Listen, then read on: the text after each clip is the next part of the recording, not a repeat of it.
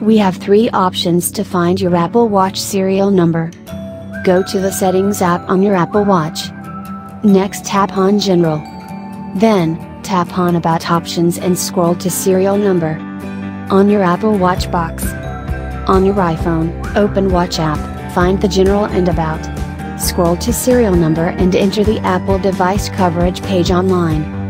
First of all, go to the checkcoverage.apple.com. Enter the serial number, enter valid CAPTCHA. Now click on Continue button.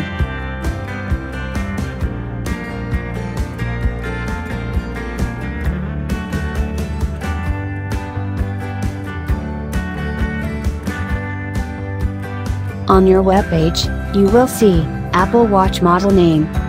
Next is serial number, valid purchase date. A validated purchase lets Apple quickly find your product and provide the help you need. Telephone technical support. Repairs and service coverage status.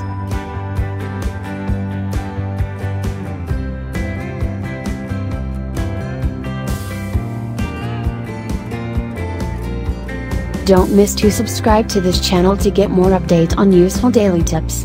Also like, share and comment if this video is helpful to you.